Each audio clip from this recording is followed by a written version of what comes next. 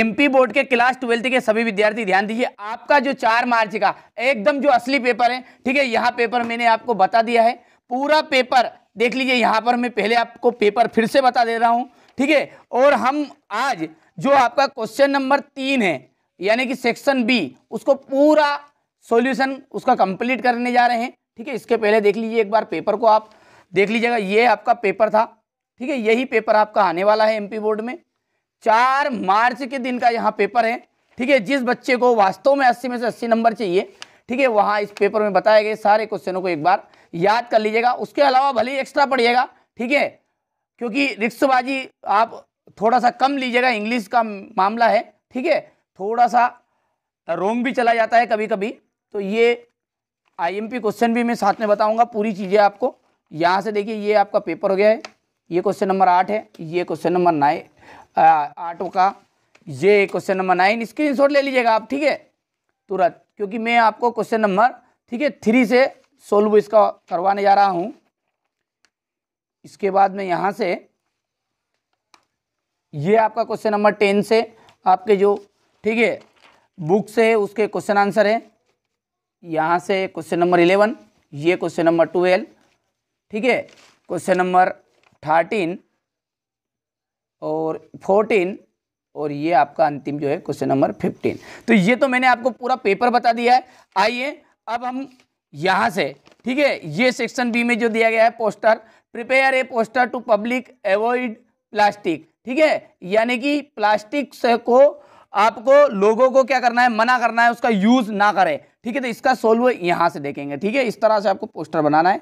से no to plastic से का मीन्स होता है ना कहे ठीक है? नो से मतलब इसका मतलब है इसका उपयोग नहीं करना है। टू प्लास्टिक नॉन बायोडिग्रेडेबल यानी कि जो आ, हमारा वातावरण है वो दूषित होता है। किसके कारण?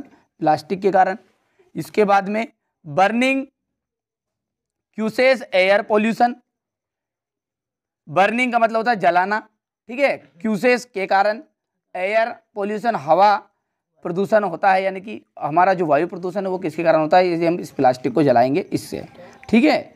Dumping polybags. यदि हम ये जो पॉलीबैग्स है, यानी कि पॉलीथीन है, इनको हम, ठीक है, मिट्टी में दबाएँगे।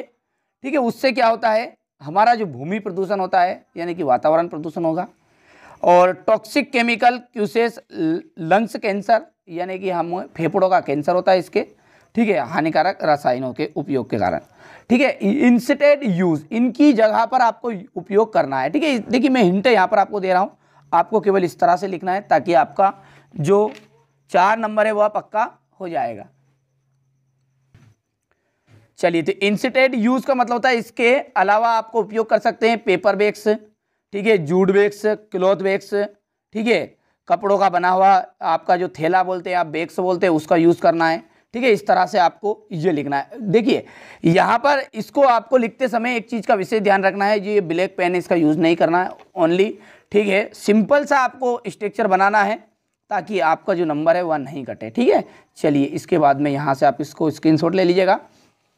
दूसरा जो पोस्टर है, वहाँ देखिए आपका, ठीक है write the help of the cues given design a poster in a suitable box instead don't be crude to animal ठीक है, यानी कि जो एनिमल है हमारे, उनको क्या करना आपको? ठीक है, वहाँ पर उनका हत्या जो हो रही है, उस पर आपको एक पोस्टर यहाँ पर बताना है। ठीक है तो यहाँ पर देखिए, बहुत ही सिंपल सा है। Don't be cruel to animals cruel का मतलब होता है निर्दयी होना। क्या होता है? निर्दयी होना। ठीक है, यानी कि इनके प्रति जो क्रूरता हमारे मन में होती है जानवरों के प्रति वहाँ हमारा मन में भाव नहीं आना चाहिए। लव देम, यानी कि इसका मतलब क्या है? उन्हें हम प्यार करें। फ़ीड देम, उन्हें हम खिलाएँ। और सेल्टर देम का मतलब होगा, उन्हें हम पना दें। ठीक है? Save animals, save the earth. यदि हम जानवरों को ठीक है, सुरक्षित रखेंगे तो हमारी धरती सुरक्षित रहेगी। सिंपल सा लिखना है, ठीक है, इतना सा लिखोगे तो चार नंबर आपको मिल जाएँगे, ठीक है भैया? आपको ज़्यादा लंबा चौड़ा लिखने की ज़रूरत नहीं है।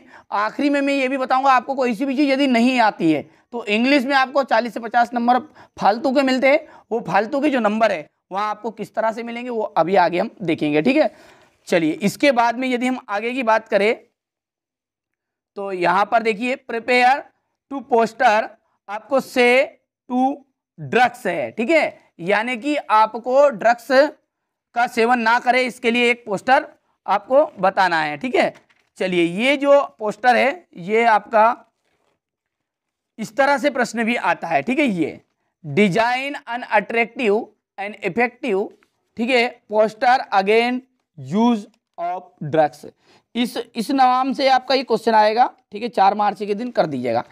Do you love yourself, ठीक है? तो यहाँ से देख लीजिए, do you love yourself? यानी कि आप क्या स्वयं को प्यार करते हो, ठीक है? एंड यूअर फैमिली और आपके, ठीक है फैमिली या परिवार वालों से प्रेम करते हो। इफ़ यस देन यदि हाँ तो फिर। से नो टू ड्रग्स नशे का सेवन ना करें, ठीक है? तो ड्रग्स लीड टू डेस्ट्रुक्शन यानी कि जो है तबाही की ओर। जो ड्रग्स है, वो हमेशा ले जाता है, किसकी ओर ले जाता है? आपको एक तबाही की ओर, यानी हम बोल सकते हैं नर्क की ओर आपको धकेलता है। ठीक है? चलिए, इसके बाद में जो आपका अंतिम, एक तरह का और पोस्टर मैं यहाँ पर एक्सप्लेन करूँगा। ठीक है? Design an attractive poster on behalf of Indore police to educate and warn ठीक है पीपल अगेंस्ट अनक्लेम्ड आर्टिकल्स इसका मतलब क्या है? डिज़ाइन एंड अट्रैक्टिव पोस्टर आपको एक आकर्षित पोस्टर बनाना है। बिहाफ की ओर से, किसकी ओर से? इंदौर पुलिस की ओर से। टू एजुकेट टू का मतलब होता है को एजुकेट ने शिक्षा, शिक्षित करे, या शिक्षा करने को, शिक्षित करने को। एंड वार्न पीपल जो लोगों को चेतावनी भी दे। अगेंस्ट के विरुद्ध अनक्लेम्ड आर्टिकल्स, ठीक है, जिसका कोई भी मालिक ना हो, ऐसी वस्तुओं को छूने से।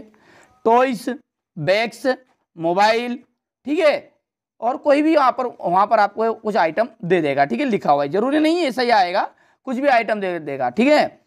यहाँ पर इन द पब्लिक प्लेस या फिर ट्रेन पर या बस पर, ठीक है, कहीं भी दे देगा। ठीक है, अब इसका लिखना कैसे आपको, वो देखिए।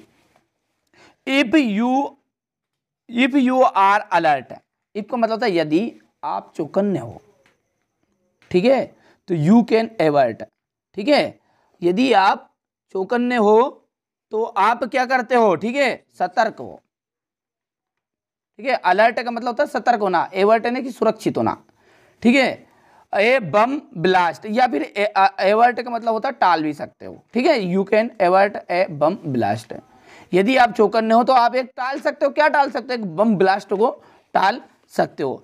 When you notice any unclaimed यदि आपको कोई ऐसा चीज़ें मिले या नोटिस करें आप, जिसका कोई मालिक ना हो, जैसे, जो यहाँ पर नाम देगा वो, ठीक है, वो नाम आपको अब उतार देना है ऐसे कैसे टॉल्स हो गया है, ठीक है मोबाइल हो गया बैग्स हो गया है, ये सारी चीज़ें, ठीक है। इसके बाद में यहाँ पर लिख दीजिएगा इमीडिएटली यानी कि तुरंत ही कॉन्टैक्ट नियरेस्ट पुलिस स्टेशन या फिर हंड्रेड कर दे, डायल, ठीक है? जो कि आजकल तो आप करते ही होंगे लड़ाई झगड़े में। हेल्प इंदौर पुलिस, ठीक है? वी विल हेल्प यू ठीक है, या फिर इसको लिखने का तरीका, एक दूसरा तरीका भी है। यही पोस्टर को आप इस तरह से भी लिख सकते हो, ठीक है? ज़रूरी नहीं है कि इसी तरह से लिखोगे, सिंपल भाषा में लिखोगे, तब भी नंबर मिलेंगे, ठीक है? ये। चलिए, ये यहाँ पर है, बाकी। ठीक है? यहाँ से। यदि आप सिंपल से सिंपल भी लिखना चाहते हो तो ये सिंपल सा आपको यहाँ पर आपकी परीक्षा अध्ययन की जो कुंजी है, उसमें देखने को मिल जाएगा। यहाँ से आप तो इतना सिंपल भी लिख सकते हो, ठीक है? यानी कि मैंने एक, केवल आपको एक तरीका सिखाया है, घबराना नहीं है, बिल्कुल भी, ठीक है? इंग्लिश में तीस से चालीस नंबर तो फालतू के मिलते हैं, ठीक है? जो कि अनसेट पैसेज में यहाँ पर आपको दिए हुए रहते हैं, ठीक है? ये जो ये ये जो आगे पैसे दिया हुआ रहता ना ये ये जो पैसेज है आगे का, ये पैसे हम जैसे बच्चों के लिए ही दिया रहता है। ठीक है? मतलब आप जैसे बच्चों के लिए कि जिनको प्रश्नोत्तर याद नहीं है। ठीक है? उनको कुछ नहीं करना है। यहाँ से देखिए, अब मैं एक तरीका बताता हूँ। यहाँ से तो ये चीज़ तो हो गई है। अब इसके बाद में ये जो पत्र है, ये अगले वीडियो में मैं यहाँ पर से आपको कवर करूँगा। ठीक है? निबंध तो आपको आता होगा ऐसे तो। बाकी अब यहाँ से जो आगे वाली चीज़ें हैं क्वेश्चन आंसर यदि आता है तो ठीक है। अब नहीं आता है तो उसका तरीका बताता हूँ कि उसका उत्तर आपको कैसे लिखना है। तो चलिए, इसको एक कॉपी में अच्छे समझते हैं कि एक प्रश्न को, जैसे कोई भी प्रश्न है वो हमें नहीं आता है। ठीक है, हमने पढ़ा ही नहीं। अब उसके नंबर हम कैसे कवर करें? तो चलिए उसे सीखते हैं। चलिए, यहाँ से समझते हैं। जैसे मान के चलिए, यहाँ पर ये क्वेश्चन नंबर आपका जो सेकेंड है।